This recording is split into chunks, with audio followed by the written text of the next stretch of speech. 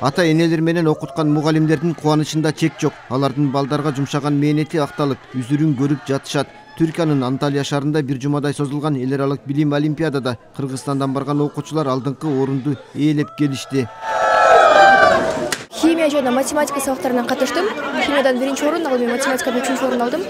Химия негизи оңой эле келди ал эми математикадан кээ бир тапшырмалар оор келип түшүнбөстүктөр да болду жаралды. Баары эл аралык деңгээлде болду. Мага аябай жакты. Биринчи жолу катышканым аябай толкундандым негизи баарыбыз каждый окуучу эки сабактардан катышты. Менин сабактарым ошо география менен орус тилден. Кудайга шүгүр эки сабактан тең орун алдым буюрса географиядан биринчи орун орус тилден экинчи орун болгом ошо негизи олимпиада аябай жакшы өттү. Чоң масштабный болду. Бишкек шаарындагы кыргыз тилдүү жалгыз менчик мектептен барган жыйырма окуучунун он алтысы байгелүү болушту. Интеллектуалдык сынакка он төрт мамлекеттен миңден ашык мыкты окуган окуучулар катышып билим боюнча күч сынашты. Билимди жана тарбияны ар тараптуу камтыган бул олимпиадага мектеп жааматы жети жылдай даярдык көргөн. Спорттон да биринчи орунду алышты. Предметтик э, көрсөткүч боюнча да биринчи орунду алышты. Демек бул биздин кыргызстандагы билим берүүдөгү э, окуп жаткан кыргыз тилдүү мектептин балдарына бул мотивация болот деп ишенемин. Анткени ошол англис тилдүү мектептер катышкан дүйнөлүк олимпиадада булар биздин балдар үчүнчү орунду үч бала англис тилинен алышты. Демек бул өтө чоң көрсөткүч деп эсептеймин биздин деңгээлде.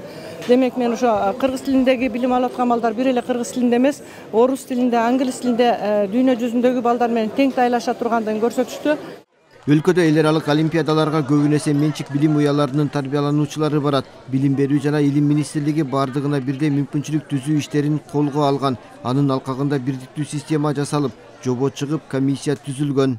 Э, жеке менчик мектеп болсун өз алдынча даярданып жүрүшөт да ошондой дүйнөлүк белгилүү олимпиадаларга мындай бирдиктүү э, даярдоону колго алуу максатында уюштурулуп жатат да.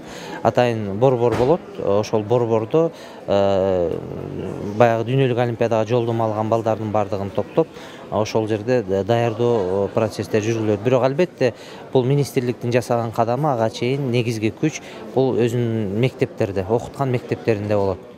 Ал эми кыргызстандын атын тааныткан окуучулар спорт жана маданий иш чараларда дагы өздөрүн көргөзүп байгелүү орундарга жетишкен. Алар калыстар тобунун сүймөнчүгүнө ээ болуп олимпиаданын жабылыш аземинде комуз чертип ырдап бийлеп өнөрүн да тартуулашкан. Уланбек тыйканбаев азамат жапаков ала тоо жыйырма төрт.